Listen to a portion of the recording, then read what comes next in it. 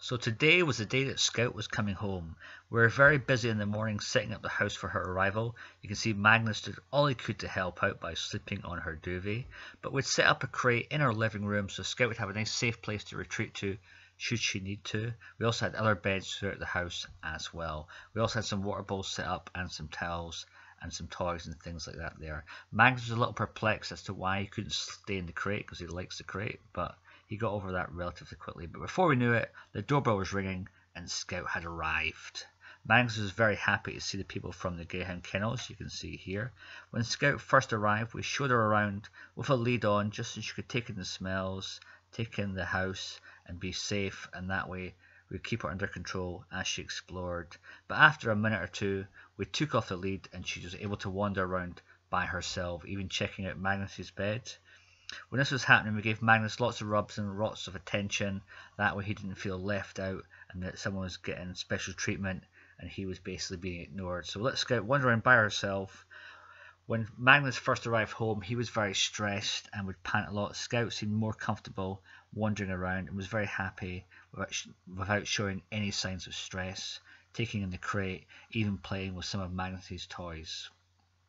Now, Scout is a five year old girl. She's from Ireland, so she's got the tattoos on both her ears. One interesting fact about Scout is that her grandfather is Westmead Hawk. Now, Magnus's father is Westmead Hawk, so they're actually related. So that was quite a surprise to find out. That wasn't something we planned or looked into. We only found out after we'd agreed to take Scout home that that was the case. So after the people from the Greyhound Kennel had left, we gave them about 45 minutes together to wander around, to interact, and to feel comfortable together. Scout even went into the crate with Magnus there, and neither of them seemed bothered or too upset by it, so that was a really good sign. So once Scout was a bit more rested, even sort of lying down, we decided we'd take Scout for a little walk just to get comfortable going out with Magnus in an urban environment away from the kennel. So little treat first, then it was time for a walk.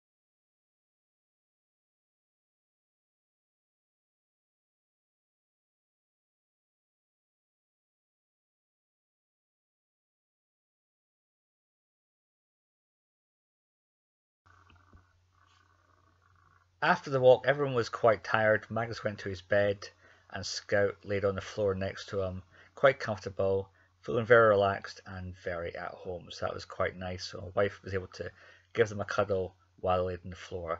While they were doing that, I went out to the store and picked up a collar and a tag for Scout. Got this little purple one with reflective spots, and we've got a tag with the name and address and contact details on there. So we gave that to Scout so she could be part of the gang. So here you go, Scout. Look at this. You're all official. Good girl. Good girl. Good girl. Magnus was even there to witness the occasion as well.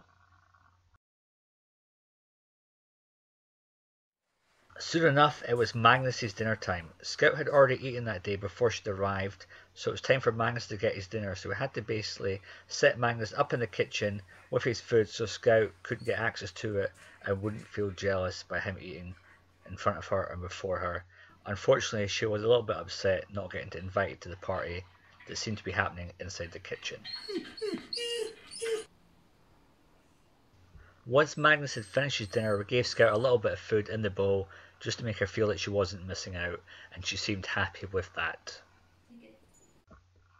So once everyone had their dinner, it was a little sit down to let all the food settle on our tummies, and then it was time to go out for our last walk. So we got Scout and Magnus all dressed up in their winter coats, and then it was out and about, out for the last walk. So Scout did really well today.